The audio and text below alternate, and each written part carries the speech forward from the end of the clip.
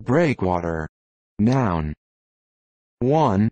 A construction in or around a harbor designed to break the force of the sea and to provide shelter for vessels lying inside. 2. Nautical. A low bulkhead across the forecastle deck of a ship which diverts water breaking over the bows into the scuppers.